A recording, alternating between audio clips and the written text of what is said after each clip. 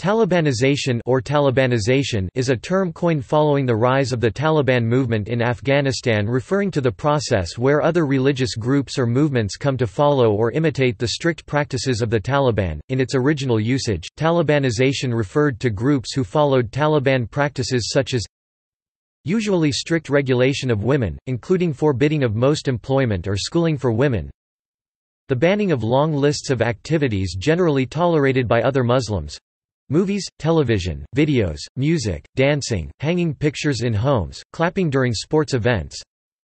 The banning of activities especially hairstyles and clothing generally tolerated by other Muslims on the grounds that the activities are Western.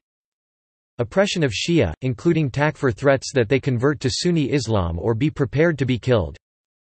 Aggressive enforcement of its regulations, particularly the use of armed religious police the destruction of non-Muslim artifacts, especially carvings and statues such as Buddhas of Bamyan, generally tolerated by other Muslims, on the grounds that the artifacts are idolatrous or shirk. Harboring of al-Qaeda or other extremists.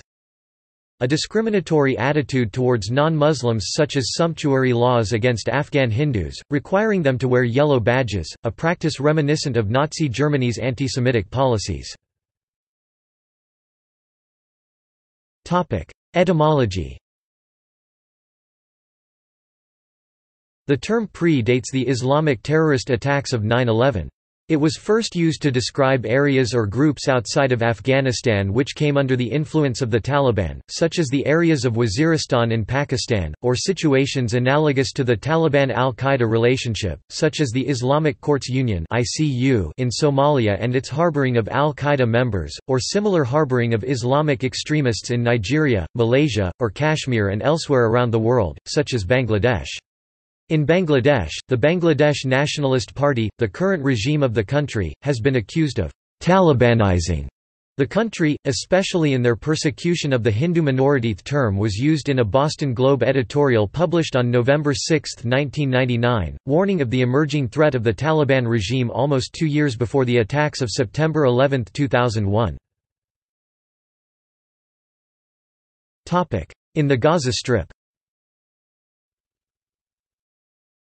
Following the takeover of the Gaza Strip in June 2007, Hamas has attempted to implement Islamic law in the Gaza Strip, mainly at schools, institutions and courts by imposing the Islamic dress or hijab on women.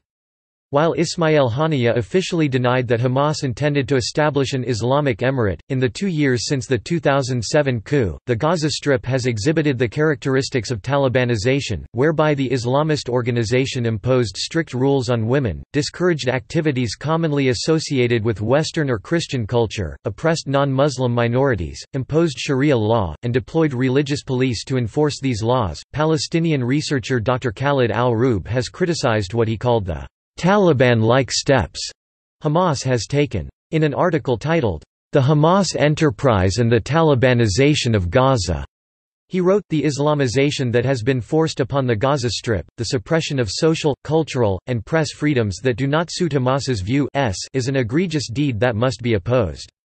It is the reenactment, under a religious guise, of the experience of other totalitarian regimes and dictatorship. A 2005 research by Eli Berman of UC San Diego and the National Bureau of Economic Research drew a number of parallels between Hamas and Taliban.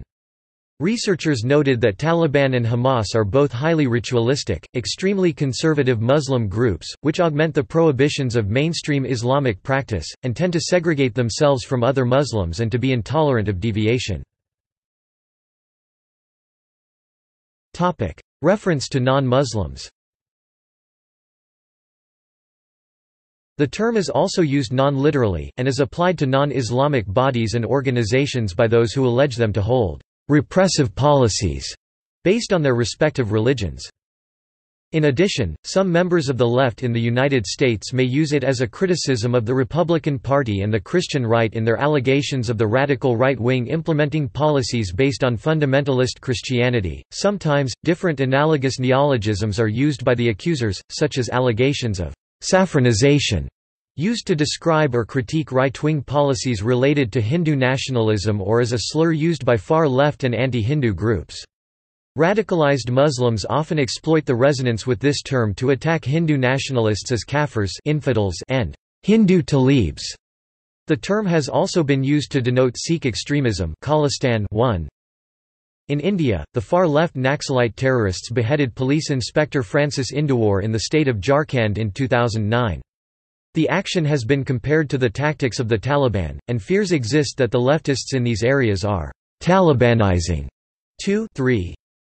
Like any highly politicized term, it may also be used hyperbolically or in an alarmist manner, to make a slippery slope argument, such as in the invocation of the phrase, "'Talibanization of Bradford' to discuss a gamut of common racial problems and tensions which fall far short of the imposition of sharia law and terrorist attacks. It may also be applied unfairly by those who do not understand Islamic culture and the basis of sharia law, or who fail to distinguish between moderate Islamic and extremist Islamist states, or misapplied to perceived threats which are not true or have yet to be proven. See also. Pashtunization. Islamic fundamentalism. Islamism Al-Qaedaism Islamofascism. References. Further reading. M.O.J., Muhammad 2015, The Deoband Madrasa Movement, Countercultural Trends and Tendencies, Anthem Press, ISBN 978 one 78308 389 3